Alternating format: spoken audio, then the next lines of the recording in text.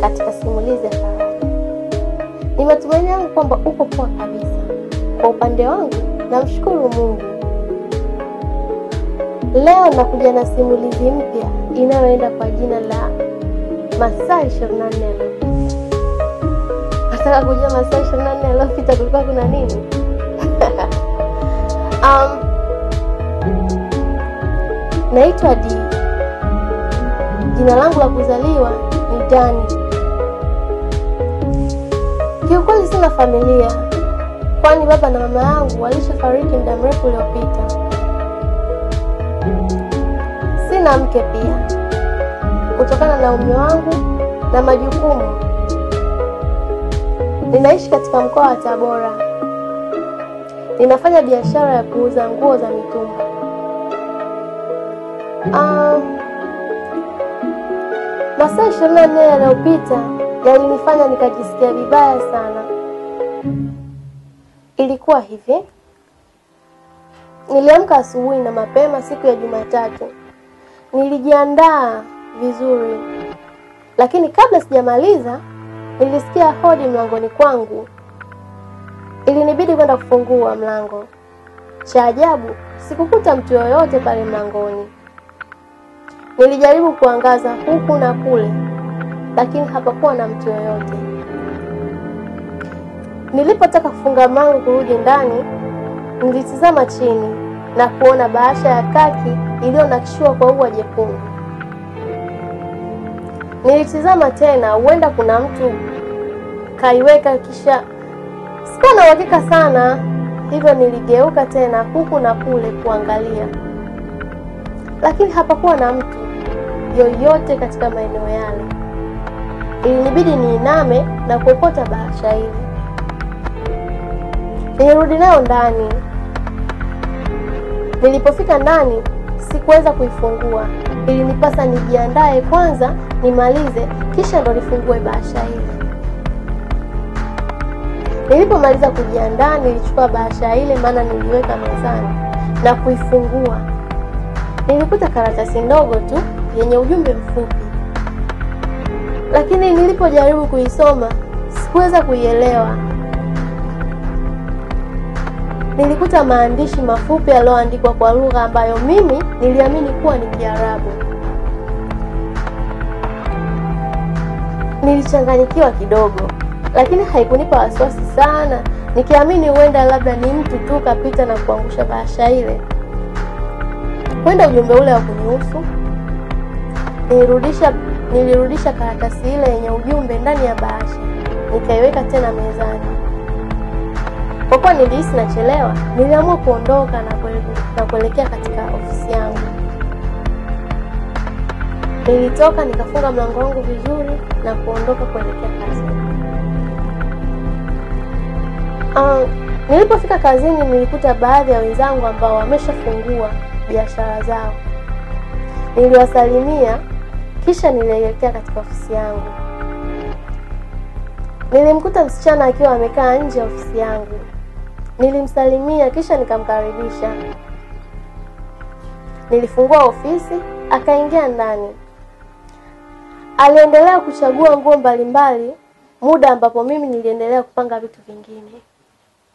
Alishika nguo moja baada ya nyingine. Baadaye alichukua gauni ya pinki akasogea nayo pale nilipokuwa. Aliniuliza, hii bei gani? Shilingi elfu saba mia tano tu dada yangu. Nilimjibu huku nikiachia tabasamu. elfu saba mia tano? Mbona bei ndogo kiasi hiki? Aliniuliza huku akishangaa bei ile. Nikamwambia ah, si unajua nguo za mtumba hizi. Akasema sawa. Alitoa shilingi elfu kumi akanikabidhi mkononi. Nilimfungia gauni yake, nikamwomba anisubiri kidogo nende nikamtafutie change. Ah, change kaa nayo tu, usijali. Nilimshukuru sana, naye pia alishukuru na akaaga kwa ajili ya kuondoka. Lakini alipofika njiani, alipofika mlangoni, kabla hajatoka nje, aligeuka akaniambia, tena kuna kitu nilikuwa nimekisahau. Baadaye nitakuja kwa ajili ya kupata jibu langu, na imani kwamba ujumbe wangu umeupata. Alisema hivyo kisha akaondoka. Kauli hilo ilinifanya mimi nizidi kuchanganyikiwa. Niliunganisha tukio lililopita, hivyo nilibaki nimeduaa. Sikupata nafasi ya kumuuliza swali lolote lile. Nilikuja kushtuka baada ya dakika kadhaa hivi. Nilifikicha macho yangu ili kuangalia kama bado yupo, lakini ha hakuwepo pale. Nilishika masikio yangu, huenda nilichokisikia sicho, lakini haikuwa hivyo. Ndicho kilichosemwa. Wakati nikiendelea kushangaa, aliingia rafiki yangu anaitwa Mu. Brother, muda wote huo nakusikia unaongea, nilijua uko na mtu, kumbe uko peke yako, aliniuliza Mu huku akinishangaa sana. Nilimjibu nikamwambia, mbona nilikuwa na mteja, kwani kujaona dada mmoja ametoka hapo nje, huku nikijipapasa kwa ajili ya kuangalia ile noti ya shilingi elfu kumi. Nilitoa ile noti ya shilingi elfu kumi na kumwonyesha, si unaona pesa hii hapa. Amenunua gauni na ameondoka nalo. Akaniuliza, gauni lipi hilo? Amechukua gauni la pinki. Mu alinishangaa, aligeuka kuangalia upande ambapo lilikuwa gauni la pinki. Aligeuka akatikisa kichwa. Ah, mbona gauni la pinki lile pale? Hebu kama sikuelewi vile au unaumwa? Aliniuliza Mu. Hapana. Nilipogeuka kutizama, kweli nililiona gauni lile la pinki. Ilizidi kunichanganya zaidi kichwa changu. Nilizidi kufikiria sana. Bro, nenda hospitali, nitakuwa una matatizo au malaria anataka kupanda kichwani, aliniambia Muu huku akitoka na kuondoka. Nilizidi kufikiria sana ni nini ambacho kinatokea. Baadaye niliamua kukata shauri kurudi nyumbani, kuirudia baru, ile bahasha ambayo niliacha nyumbani. Nilitoka nikafunga biashara yangu na kuondoka. Nilipofika njiani, kutokana na mawazo mengi niliyokuwa nayo, nilihisi kichwa kinaniuma. Nilitafuta kivuli, nikasema nikae hapa chini ya mti kidogo. Nilisogea na kukaa, lakini kwa ghafla nilisikia sauti kubwa na nzito ikiniuliza, ni kwa nini unakaa katika nyumba yangu bila idhini yangu?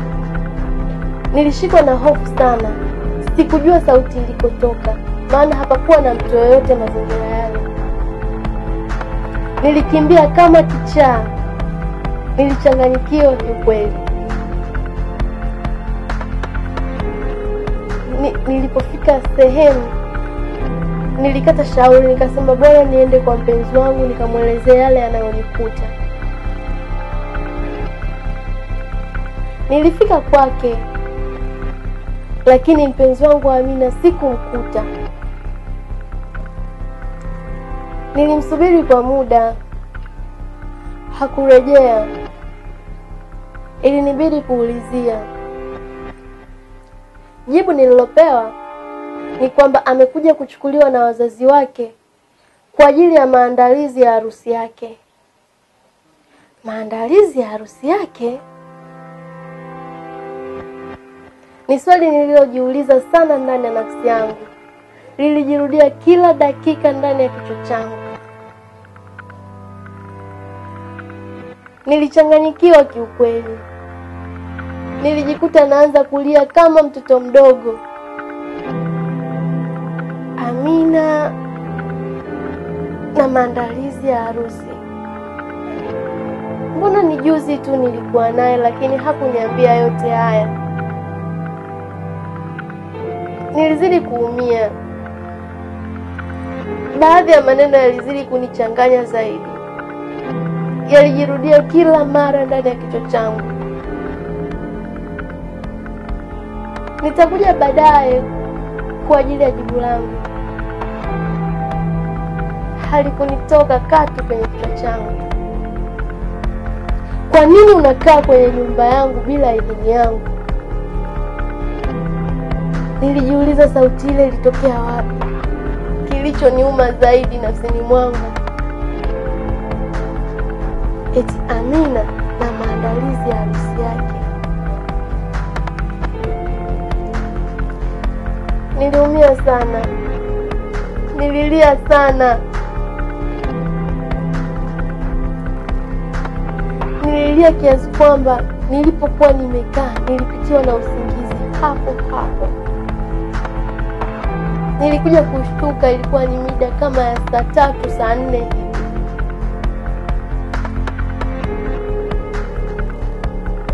Sikuwa na cha kufanya, hilo ndo limeshatokea, japo liliniumiza sana. Nilijivuta taratibu ili kurejea nyumbani kwangu. Nilitoka nikawa natembea taratibu, huku mawazo yakinizidi kichwani. Nilifikiria sana ile barua niliyoiacha nyumbani na yale yaliyonitokea mpaka kufikia muda ule. Nilitembea kama mgonjwa, nilijivuta kama mtu aliyeumia miguu yake.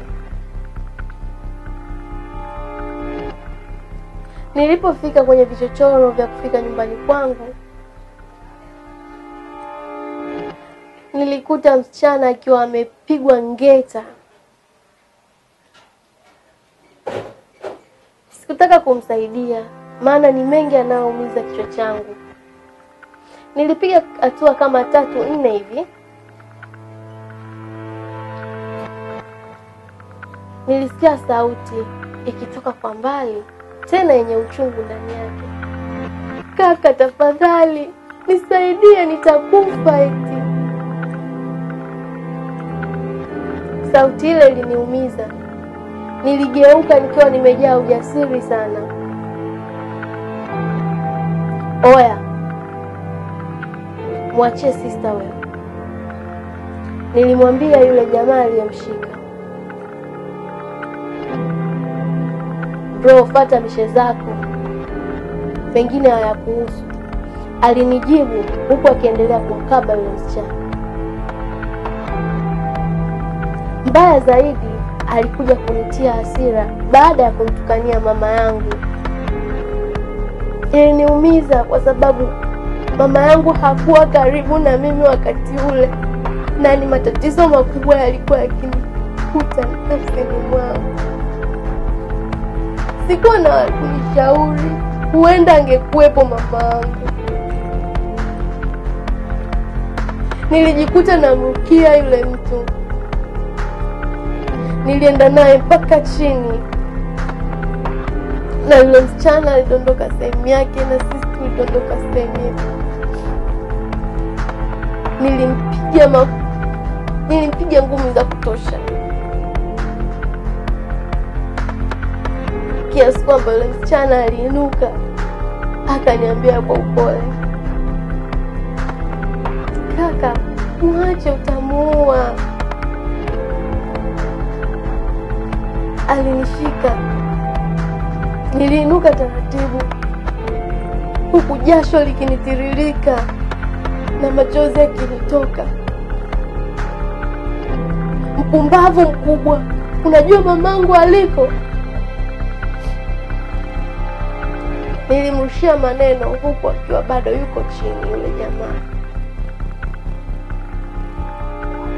Nilimgeukia yule msichana. Hujaumia? Nilimuuliza. Sijaumia kakaangu, nashukuru kwa kunisaidia.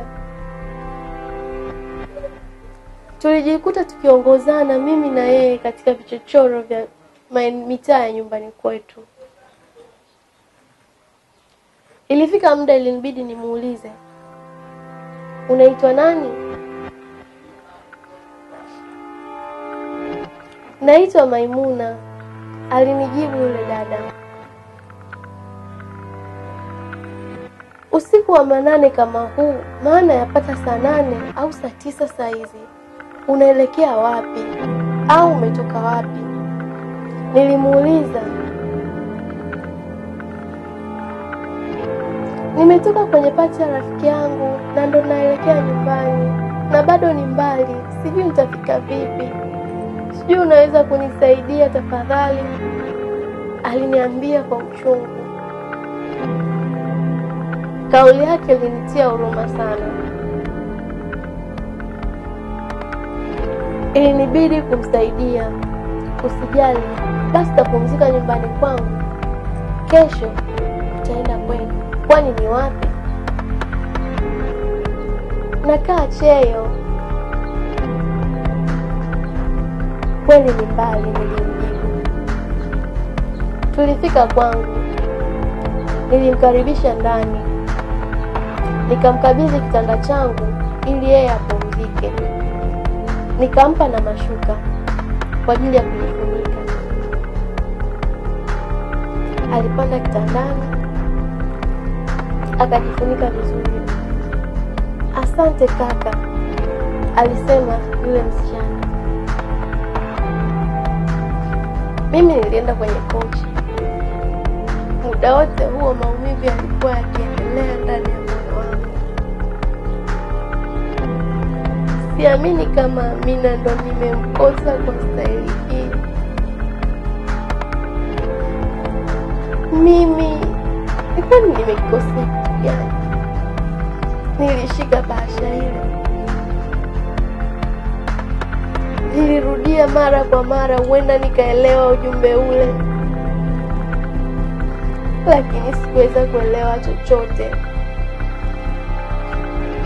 Nililia sana kwa sababu nilijikuta naingia matatizoni bila kujua kosa langu ni nini. Nililia nikasinzia hapo hapo. Ilikuwa ni majira ya saa kumi na mbili asubuhi nilipokurupuka. Niligeuka kitandani, Maimuna sikumkuta.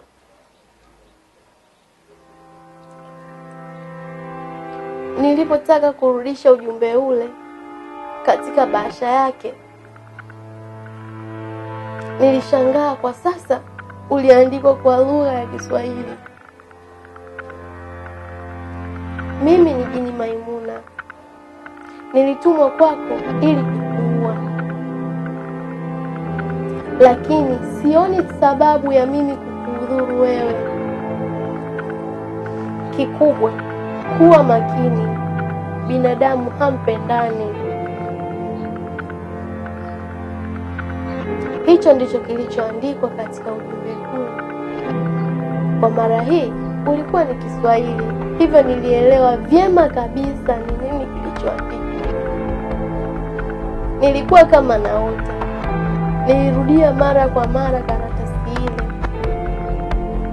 niligeuza nyuma na mbele, nilikagua ndani ya bahasha, nilikung'uta nilipokuwa nimelala, huenda nimebadilishiwa ujumbe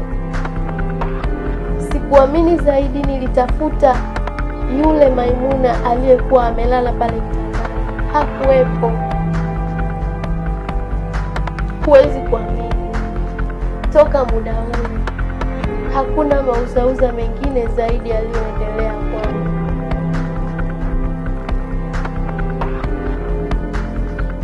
Na hiyo ndiyo historia iliyonitokea masaa 24 yaliyopita. Ulikuwa na mimi msimulizi wako Kukuu katika simulizi yako masaa 24 yaliyopita. Usikose kuwa na mimi tena wiki ijayo. Chao.